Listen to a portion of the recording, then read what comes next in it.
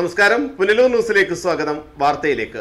സഞ്ചാര സ്വാതന്ത്ര്യത്തിനായി വിവിധ സർക്കാർ മന്ദിരങ്ങളിൽ കയറിയിറങ്ങി നട്ടം തിരിയുകയാണ് അച്ചൻകോവിൽ നിവാസികൾ. കാൽനട പോലും ദുഷ്കരമായ റോഡിൽ എന്ത് ചെയ്യണമെന്നറിയാതെ പകച്ചു നിൽക്കുകയാണ് ഒരു ഗ്രാമം.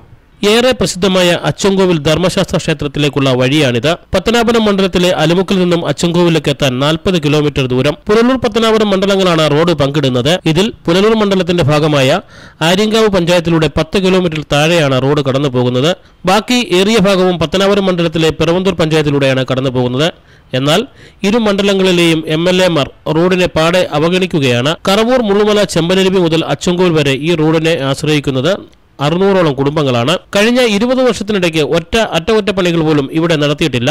റോഡിനെ ചൊല്ലി പി ഡബ്ല്യു ഡിയും വനം വകുപ്പും തമ്മിലുള്ള തർക്കത്തിനിടയിൽ നട്ടം തിരിയുന്നത് നിരവധി കുടുംബങ്ങളാണ്. കാൽനട പോലും ദുഷ്കരമാകും വിധം തകർന്ന റോഡിലൂടെ ഓട്ടോറിക്ഷ പോലും വരാൻ മടിക്കുകയാണ്.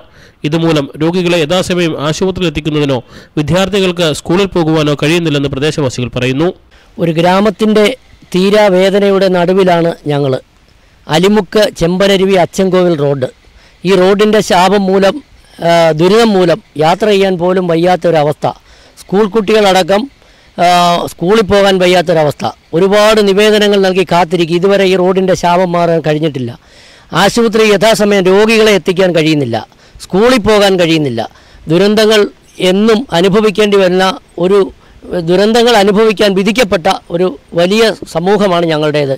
അധികൃതരുടെ അടിയന്തരമായ ശ്രദ്ധ ഈ കാര്യത്തിലുണ്ടായി. ഈ റോഡ് അടിയന്തരമായി പുനർനിർമ്മിക്കാനുള്ള നടപടി ഉണ്ടാകണമെന്ന് മാത്രമാണ് ഞങ്ങൾക്ക് പറയാനുള്ളത്. റോഡിന്റെ ശോചനീയാവസ്ഥ കാട്ടി നിരവധി സർക്കാർ ഓഫീസുകളിൽ കയറിയിറങ്ങുകയും സമൂഹ മാധ്യമങ്ങളിലൂടെ വലിയ പ്രചാരണം നടത്തുകയും ചെയ്തെങ്കിലും അധികൃതർ തിരിഞ്ഞു നോക്കിയിട്ടില്ല. റോഡ് നവീകരണത്തിന് വനം വകുപ്പ് പതിനഞ്ച് കോടി രൂപ അനുവദിച്ചെങ്കിലും ടെൻഡർ നടപടികൾ ചുവപ്പ് നടയിൽ കുടുങ്ങിക്കിടക്കുകയാണ്. News bureau Punalur.